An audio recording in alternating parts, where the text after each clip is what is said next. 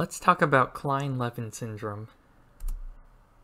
So this is a disorder of central hypersomnolence. It affects males and Ashkenazi Jews more, especially in a question stem. It'll usually be a male affected. The cause is unknown, but the onset is usually between the ages of 10 and 20 for most people.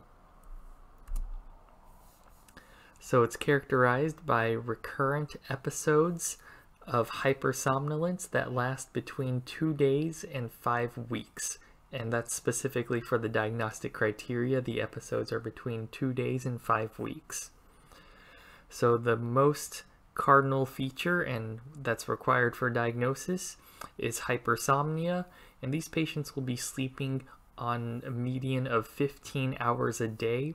This is much more than in a disease such as narcolepsy. When the patients are awakened, they can be aggressive or irritable.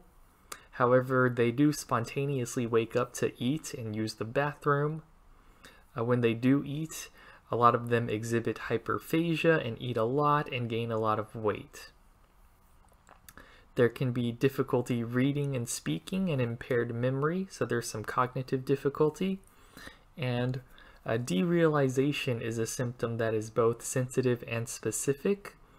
So basically they will think that their surroundings are wrong or unreal or that sights and sounds are out of this world. And there can also be hypersexuality such as increased masturbation. Between episodes, these patients return to normal cognition and functioning, and the episodes have to last per the diagnostic criteria at least eight, once every 18 months. So there's also a subtype of Kleine-Levin syndrome called menstrual recurrent hypersomnia, basically when these episodes are only associated with menstruation. So because this is a rare disease, you'll have to rule out alternative causes and generally a pretty detailed investigation is done. So an MRI brain is done to rule out structural abnormalities, a lumbar puncture is done to rule out uh, infectious disease. These are both normal typically. An EEG is done if there's concern for seizures, uh, which typically shows some non-specific slowing. There are some metabolic disorders that can uh, cause this. So a toxicology screen is done in case they're doing recreational drugs. A, a BUN and liver function tests are done. And investigations are done for amino acid disorders and organic acid disorders as well.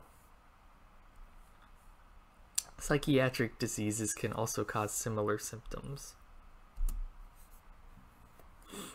In terms of treatment, uh, you want to focus on prophylaxis and avoid alcohol and maintain good sleep hygiene between episodes. Also, if episodes are happening frequently enough, maybe once every few months or um, once a month, then you can use lithium prophylaxis.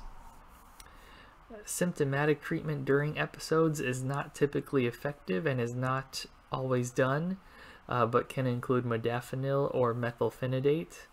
If the episodes are long lasting, like over a month, then IV steroids can be used. For prognosis, this disease typically lasts one or two decades from onset and then the patient returns to baseline or near baseline. Near baseline meaning that sometimes they'll have some cognitive dysfunction. These patients are also at a future increased risk of mood disorders.